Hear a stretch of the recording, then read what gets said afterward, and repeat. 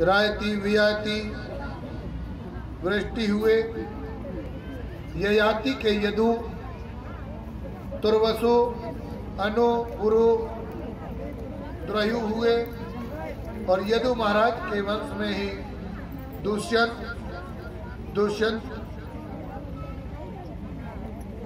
माता कृपया शांत बैठ जाएँ। शकुंतला के भरत हुए। इसी वंश में टाइम हो गया। परम उदार महाराज रंती देव हुए। इसी वंश में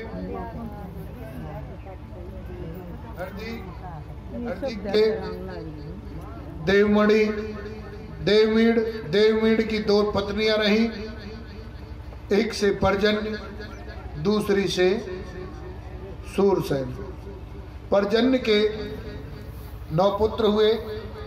धर्मानंद, कर्मानंद बल्लभनंद उपनंद श्री नंदराय जी।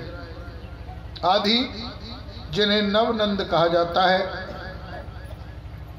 सूरसेन के 19 पुत्र हैं, जिनमें एक बसदेव जी हैं। और प्रथा, श्रुति देवी, श्रुत कीर्ति, श्रुति सर्वा आदि ये पाँच पुत्रियाँ हैं। है। वसुदेव जी के सात पत्नियाँ हैं। सबसे छोटी देवकी हैं। सबसे जो जो छोटी रानी है वो देवकी है। अब देवकी एक समय